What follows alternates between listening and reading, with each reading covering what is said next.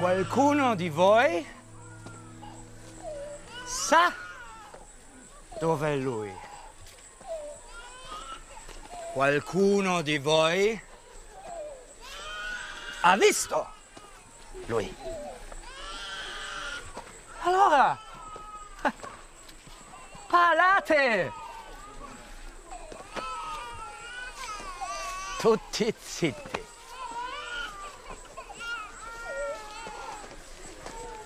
Loro non sanno nulla. È gente innocente, non sanno nulla. Io ho dato a voi 15 minuti. Ma non sanno nulla, è gente innocente. Per trovare qualcuno che dice noi... Non lo sanno, non lo sanno. Dov'è nascondiglio di Farfalla? sanno. E di suoi banditi? Prendete la mia dignità, vi prego. Nixta, Loro prendete solo la avete ancora prego, solo la mia. uno minuto. Il 12 agosto ricorrerà il 66esimo anniversario della strage perpetrata dalle truppe naziste a Sant'Anna di Stazzema, località toscana in provincia di Lucca e all'epoca appartenente alla neocostituita Repubblica Sociale Italiana.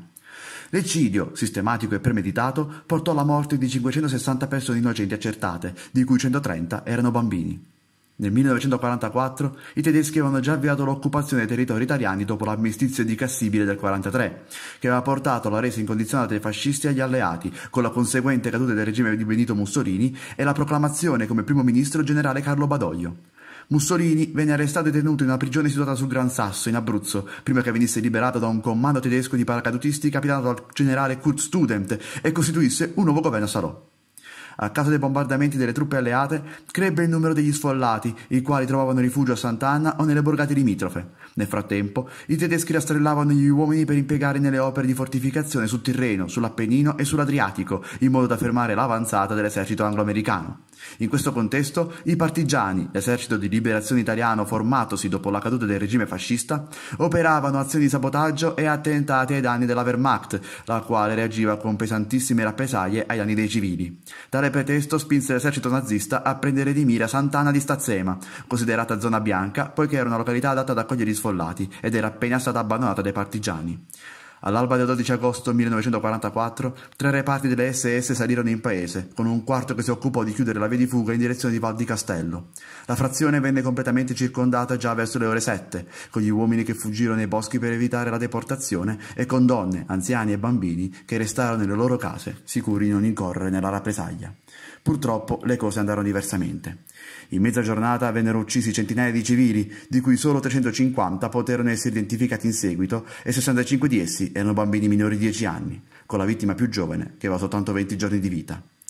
Nei documenti tedeschi si parlava di operazioni di controbande all'interno della zona di Sant'Anna, le quali avrebbero portato alla morte di 270 banditi, alla cattura di 68 persone e 208 uomini sospetti assegnati al lavoro coatto. L'ufficio informazione del comando tedesco, in un secondo momento, comunicò la cattura di 353 civili sospettati di connivenza con i partigiani, di cui 209 vennero trasferiti nel campo di raccolta di Lucca. I rastrellamenti dei nazisti furono efferati. I civili vennero rinchiusi nelle chiese, nelle stalle o nelle cucine e freddati a colpi di mitra, rivoltella e con le bombe a mano. Vennero appiccati anche degli incendi che causarono ingenti danni a cose e persone.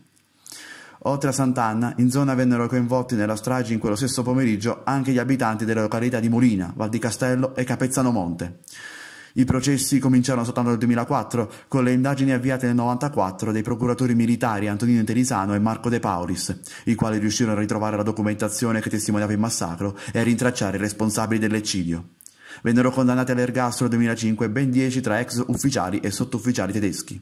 Nel 2000 venne istituito il Parco Nazionale della Pace di Sant'Anna di Stazzema, dove svette il monumento ossario, con l'obiettivo di mantenere viva la memoria storica della strage nazista e delle persone che hanno perso tragicamente la vita in quel triste giorno di agosto.